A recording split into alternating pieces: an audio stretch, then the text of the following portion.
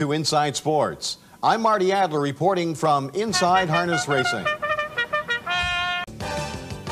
Now to Charlottetown, Prince Edward Island, where John and Chris Currie have their horse, General's Gate, entered in the biggest race of the year, the Charlottetown Driving Park Gold Cup and Saucer. But before the fun comes the work.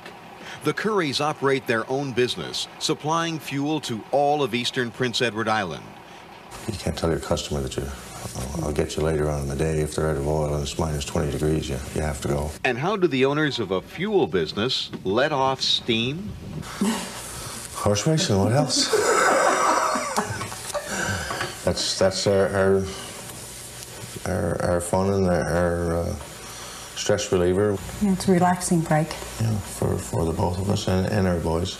It's the same as a business venture. You lay some capital down to, to make the initial purchase, and you train them and you stake them, and hoping that you will, you know, get a return on, on your investment. You fall in love with them. They're they're become like almost pets. and it's nice to, to win now and then, and but you you got to be able to accept your losses. It's the same as anything, and and if you can't, you know, you, you shouldn't be in the business because. Uh, that's part of the game. You don't always win. On this night, General's Gate finishes in the money, a respectable third.